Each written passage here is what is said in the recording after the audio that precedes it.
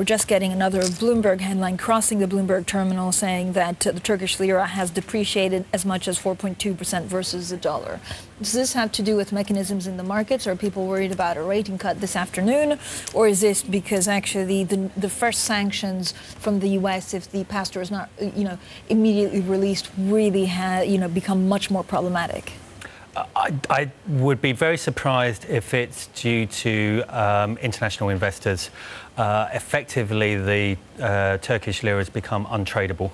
Uh, so you can't, yeah. So you can't, um, you know, if, even where if you're trying to even go long, yeah. um, it's very it's, difficult yeah. to get uh, sort of forward points on that. So um, it may be some, you know, squaring of positioning, perhaps by uh, local banks, perhaps in anticipation um, that we are going to see a rating cut later from uh, S&P. Uh, I mean, I'd be very surprised if S&P don't cut the rating. I don't think that should really be, and I'm sure it won't be a surprise to the broader market. I think where it raises the issue, and which is absolutely crucial for Turkey going forward, is would it impact the ability of the banks to do their rollovers? That's right. what's going to determine whether they're ultimately successful or not, is mm. whether they can actually roll over the short-term liabilities yeah. um, that they have rather than the lira itself. But David, if capital controls aren't palatable, will they end up going to the IMF after possibly you know, several loans, unilateral loans like we saw from Qatar?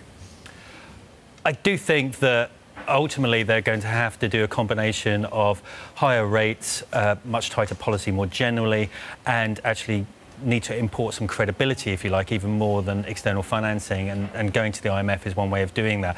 I mean, the, that will require a huge political U-turn out of Ankara.